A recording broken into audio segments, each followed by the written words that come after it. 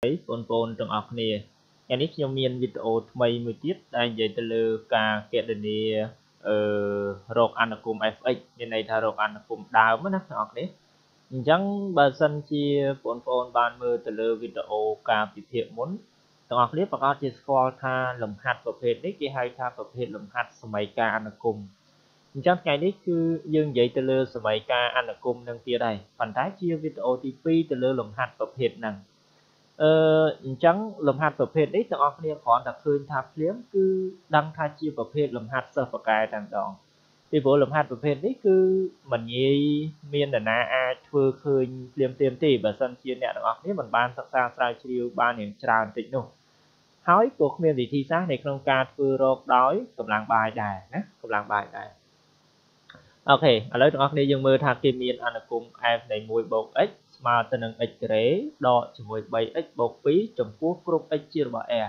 អានេះជាលក្ខខណ្ឌរបស់គេណាមានន័យថាវាមានន័យគ្រប់តម្លៃ x ជារបស់ r ឬក៏អាចកំណត់បានគ្រប់តម្លៃ x ជារបស់ r តែម្ដងណាមានន័យថាគ្រប់ x ជារបស់ r អញ្ចឹងគេឲ្យយើងរកអនុគម fx1 ណាអនុគម fx1 ដែលផ្ទៀងផ្ទាត់ថា f នៃ1បូក x ស្មើទៅនឹង x ការ៉េដកជាមួយ 3x បូកជាមួយនឹង2 អូខេតោះឥឡូវយើងមើលដំណោះស្រាយទាំងអស់គ្នាអញ្ចឹងគេឲ្យយើងរកអនុគម fx ណារកអនុគម fx របស់យើងខាងដើមវិញអឺខ្ញុំសូមរំលឹកថាអញ្ចេះលំហាត់ប្រភេទនេះទាំងអស់គ្នាត្រូវតែចាំថាដើម្បីដោះស្រាយលំហាត់ប្រភេទនេះបានទាំងអស់គ្នាត្រូវនឹកឃើញទៅដល់វិធីសាស្ត្រឬក៏វិធានដែលខ្ញុំធ្លាប់បានឲ្យទាំងអស់គ្នាការពិភាក្សាមុនអញ្ចឹងសួរថាវិធានហ្នឹងគេនិយាយយ៉ាងម៉េចដើម្បីដោះស្រាយលំហាត់ហ្នឹងបាន អញ្ចឹងដើម្បីកុំឲ្យទាំងអស់គ្នាភ្លេចហើយពិបាកទៅមើលវីដេអូមុនខ្ញុំសូមរំលឹកបន្តិចទៅលើវិធីសាស្ត្រនេះគឺនៅផ្នែកខាងនេះទៅចោះទាំងអស់គ្នាយើងមើលមើលគេថាការរកអនុគមងាយងាយមួយចំនួនដែលមានមួយអថេអញ្ចឹងប្រភេទរបស់យើងនេះគឺជាប្រភេទងាយងាយហើយព្រោះអីមួយអថេអញ្ចឹងលំហាត់ប្រភេទសម័យកាលអនុគមនេះមិនមែនមានតែអញ្ចឹងទេអាចច្រើនជាងនឹងទៀតអញ្ចឹងក្នុងវីដេអូមួយនេះខ្ញុំនិយាយទៅលើអនុគមងាយងាយទេ ប៉ុន្តែបើទាំងអស់គ្នាមិនបានទៅលើវីដេអូមួយហ្នឹងទេខ្ញុំជឿជាក់ថា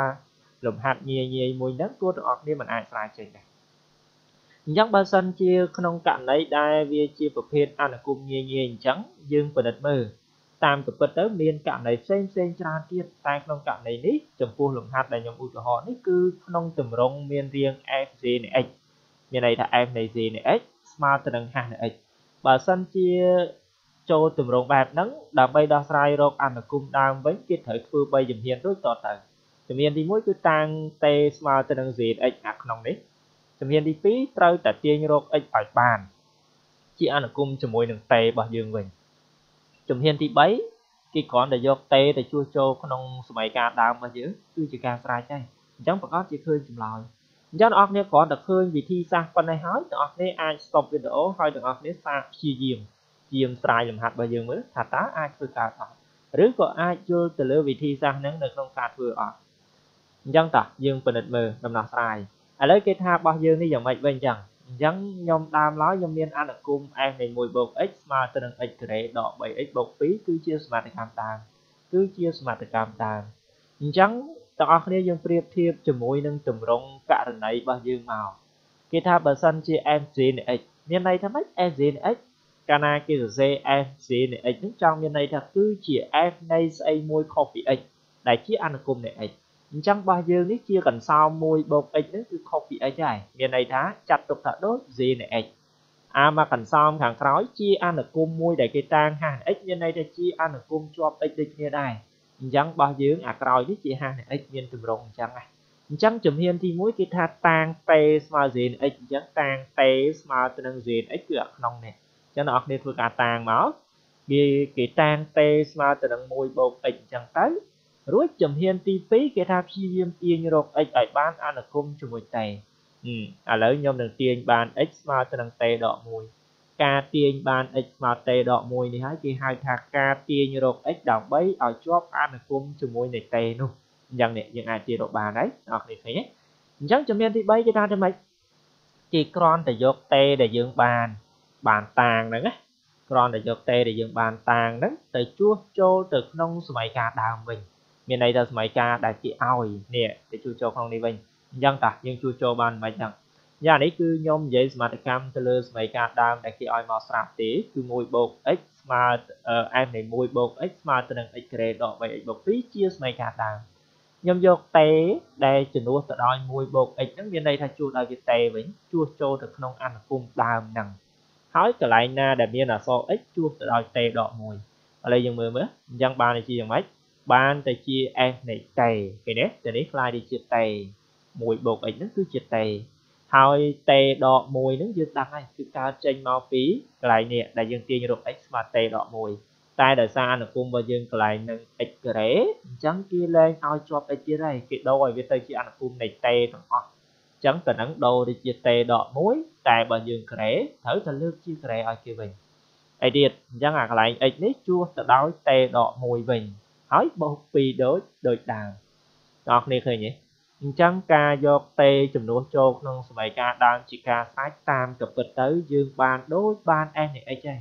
ប៉ុន្តែគ្រាន់តែកាលណាយើងទុកនៅអញ្ចឹងវារៀងអាញ៉េញ៉ៃបន្តិច កន្សោមរបស់យើងគេអាចទូទាត់គេអាចបង្រួមបានអញ្ចឹងអ្នកនរគ្រាន់តែធ្វើការបង្រួមកន្សោមរបស់យើងឲ្យវាតូចមកអញ្ចឹងយើងបង្រួមវាមកមានន័យថាខ្ញុំបំបែកចេញពីរូបមន្ត a ដក b លើកជាការ៉េ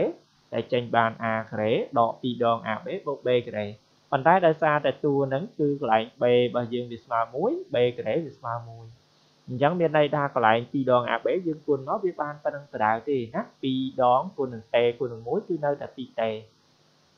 កន្លែងអាក្រោយនេះយើងគុណពលាអស់មកដក 3t នេះហើយដកគុណដកបានជាបូកអញ្ចឹង3គុណនឹង1បានបាន3មានន័យថាបូក3ហើយបូក2ខាងក្រោយឃើញទេចឹងអ្នកនរយើងសង្កេតឃើញថាកន្សោមរបស់យើងនេះធ្វើការសម្រួលបានណាមានន័យថាធ្វើការបង្រួមបានតេការ៉េយើងរក្សាទុកដដែលដែលឡែកចំពោះដក2តេនិងដក3តេគេអាចស៊ីសងវាបានមានន័យថាបង្រួមវាសល់ដក5តេ ហើយលេខទាំងអស់បូកចូលគ្នាទាំងអស់នេះប្រកាសជាឃើញថាទៅជាតេការ៉េដក5តេបូក6នេះគឺជាអនុគម s នៃតេមានន័យថា s នៃតេរបស់យើងចុងក្រោយរកឃើញប៉ុណ្ណឹងបងប្អូនឥឡូវសួរតែចប់នៅគេថាយកជួសចូលឲ្យគឺជាការស្រេចហ្នឹងយ៉ាងម៉េចគឺជាការស្រេចហ្នឹងគេចង់បាន fx ទេប៉ុន្តែរបស់យើងបានរកឃើញ s នៃតេហើយប៉ុន្តែបើ s នៃតេជាប់អនុគមនៃតេបើគ្រាន់តែគេចង់បាន fx គេយកតេស្មើ x ណាបងប្អូន យកតេស្មើ x យកមកជួសចូលនៅក្នុងនឹងវិញមកខ្ញុំយកមកជួសចូលក្នុងអនុគមដើមនឹងវិញប្រកាសជាបានយ៉ាងម៉េចចឹងនោះ fx របស់យើងដូរអាកន្លែងណាអក្សរតេក្រហមក្រហមនេះដូរទៅជា x វិញទាំងអស់ទៅឥឡូវយើងបានឃើញថា f នៃ x ស្មើទៅនឹង x ក្រេដក 5x បូកជាមួយនឹង6តោះគ្នាទៅមើលប្រធានឡើងវិញអ្វីដែលគេចង់បានគឺចង់បាន f នៃ f នៃ x ឥឡូវទីបំផុតគ្នាយើងរកបានឃើញ f នៃ x គឺស្មើទៅនឹងអនុគម1គឺជាអនុគមពហុធាតុក្រេទី2ឥឡូវអាហ្នឹងហើយគឺជាអ្វីដែលគេចង់បានដូចនេះនាំឲ្យយើងទាញបានថា fx យ៉ាងម៉េចចឹងអស់គ្នា fx ស្មើទៅនឹង x ក្រេដក 5x បូកបូក6គឺជាចម្លើយនៃលំហាត់របស់យើងដែលគេចង់បានគឺជាអនុគម fx ដែលគេចង់បាន សង្ឃឹមថាបងប្អូនទាំងអស់គ្នានឹងតាមតាន់ទៅលើវិធីសាស្ត្រនៃការដោះស្រាយរកអនុគម fx ឬក៏លំហាត់សិស្សបកែមួយនេះអរគុណច្រើនវីដេអូក្រោយខ្ញុំនឹងបន្តលំហាត់ផ្សេងៗទៀតសម្រាប់បងប្អូនដែលចង់ខ្លាយជាសិស្សបកែគណិតវិទ្យាអរគុណច្រើន